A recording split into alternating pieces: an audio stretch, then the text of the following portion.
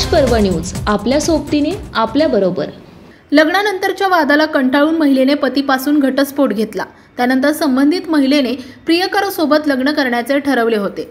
मात्र नवऱ्याने पुन्हा संसार करण्याचा तगादा आणि प्रियकराकडून लग्नाची सतत विचारणा होत होती. दोघांच्या त्रासाला कंटाळून विवाहितेने गळफास घेऊन आत्महत्या केली आहे. या प्रकरणी तिचा पती याच्यासह एकाविरुद्ध एरवडा पोलीस ठाण्यात गुन्हा दाखल करण्यात आला आहे. आपल्या भागातील ताज्या आणि महत्त्वाच्या बातम्या पाहण्यासाठी आमच्या प्रकाश पर्व न्यूज चॅनलला यूट्यूबवर सबस्क्राईब करा आणि बेल आयकॉन प्रेस करा.